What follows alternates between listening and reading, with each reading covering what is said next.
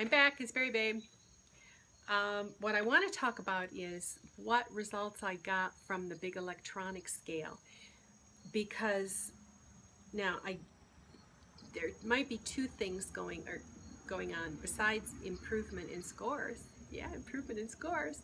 Um, it also might be that the connections were better, but I'll be watching to see if my stats stay consistent. But um, I'm looking at three different dates. June 25, July 24, and then 816. So weight-wise, June 25, I was 163.9. July 24, 157.5, and today it registered 153.4. So my fat percentage in June was 39. The end of July it was 38.1 and today it was 35.7 which is in the high normal range. And when you're an old lady you get to carry more fat but I don't like that idea. My visceral fat which is the fat that's around your organs and um, keto talks about this is where if you have uh, insulin resistance, this is where you put it on, and I, that's just where I've packed it. My visceral fat in June was 10.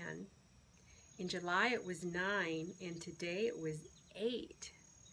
And that, it, it gives you a little range scale, but it doesn't label them. It used to, but it doesn't anymore. I think it was in the normal scale, and 10 was the cutoff.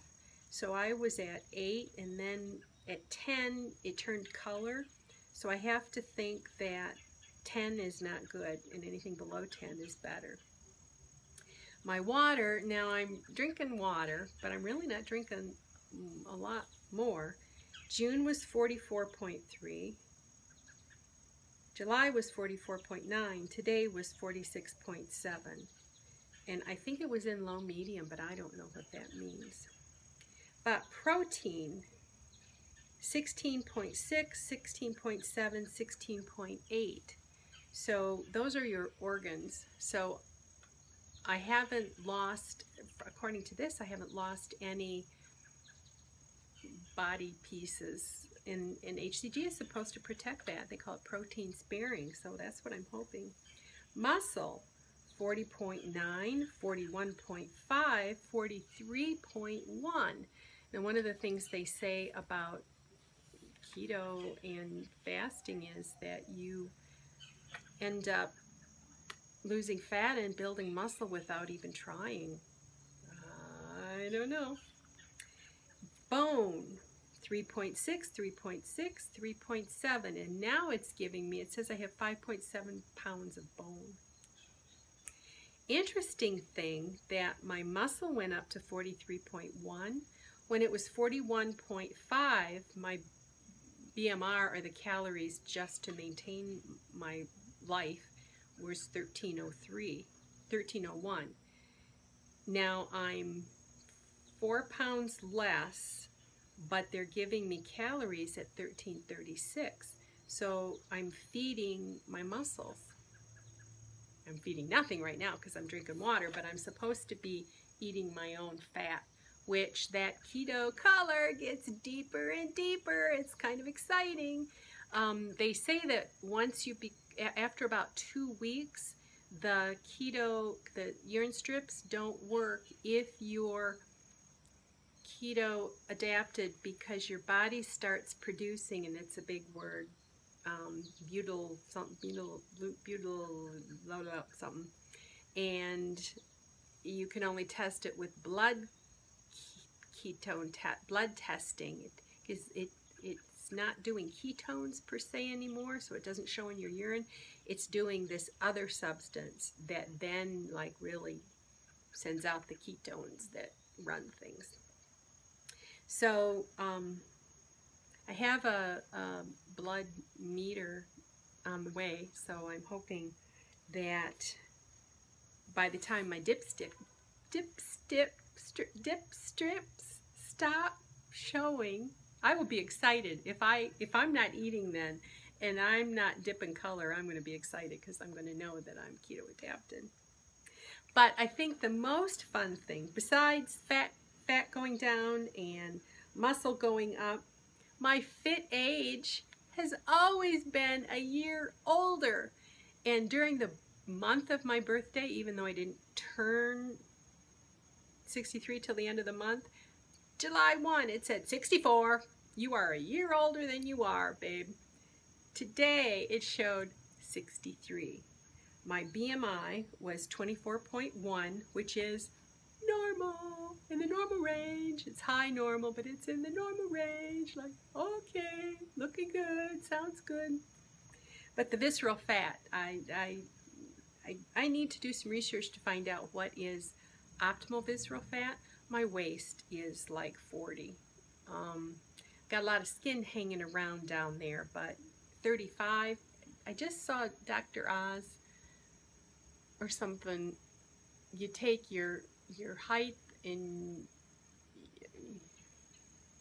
and you divide it and it tells you what your waist is supposed to be but I've always heard that you, any bigger than 35 is bad news so but I'm I'm like I'm I'm like 40 40 40 under here you know I'm just like I got these little boobs that stick out here and then the rest of me is like mm, and I turn sideways and it's like mm, not a lot of interest going on anymore so I'm delighted with not the weight so much, but good things are going on, even if I'm still having trouble getting the weight where it needs to be. And I, I still don't know. Well, definitely not until I break 150. I'm keeping the fast till I hit 150 unless something really horrendous starts happening. I've got the bone broth in the trailer already, so, and my husband and I were talking about how, we're going camping on Sunday and I may still be fasting. But he's trying to figure out, I said, I really need to take my scale because I don't take my scale, I get in trouble. If I'd had my scale on this last vacation, I might have kept, if I could see it going down, trending down, I would have known I was okay. Or if I saw it staying the same, I would have known I was okay.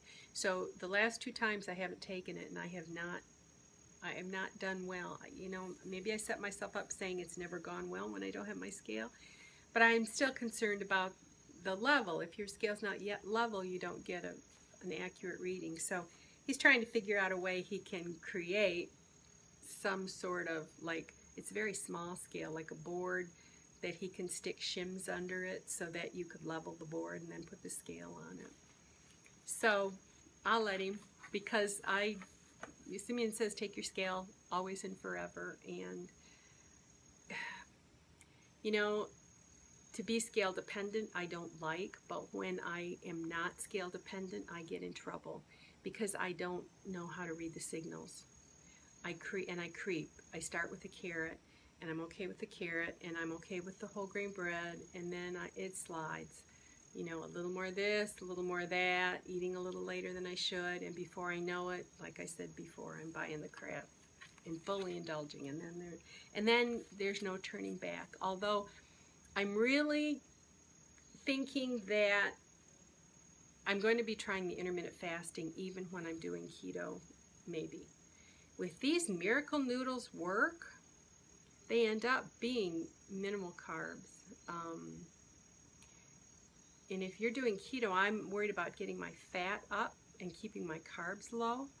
I've never really been one just to put garlic, butter, and salt on pasta, but if this uh, Miracle Noodles and Keto Cooking with Christy really likes them, I may just be able to put um, some grass-fed Kerrygold butter on them with some garlic and, and eat that instead. I don't do bulletproof coffee.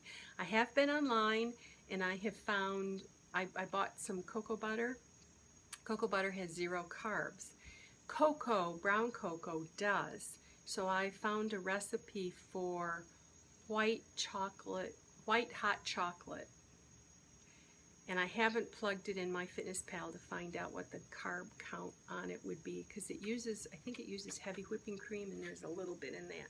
When you do bulletproof coffee, there's zero, zero carbs because your coffee has none, your butter has none, your MCT oil has none. And the idea is that you can do that first thing in the morning and it doesn't affect your insulin at all. So therefore, it's like you're fasting. So I'm trying to find something that's going to be zero carbs for me that would satisfy so I could get a hit of fat and spread it out during the day. So um, I did put the, I got chicken breast with ribs on it and fat on it and I put it in the crock pot. And when I prepared the chicken for the chicken pot pie, I took off the skin and wrapped it in wax paper and put it in the freezer. And I took the bones and put them in a baggie and put them in the freezer for um, bone broth.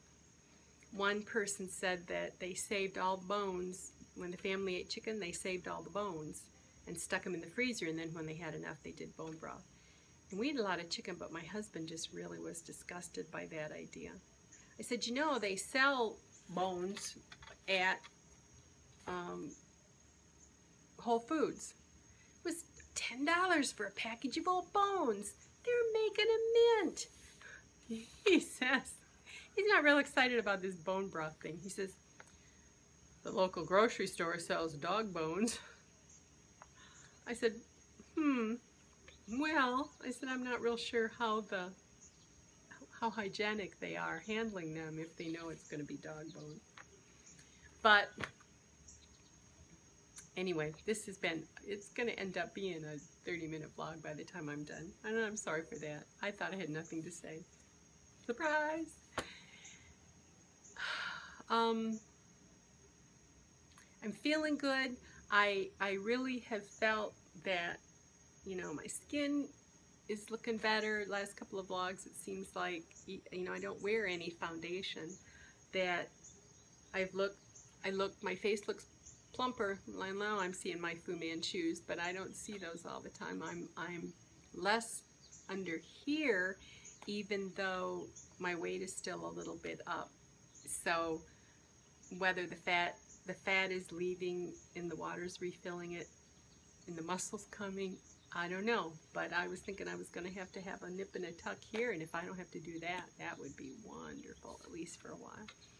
Because I got my daughter's wedding, and you know next summer and those pictures last forever. Anyway, okay, well, tomorrow... I know I have some fans that are waiting for the day four, what comes next stories. Okay.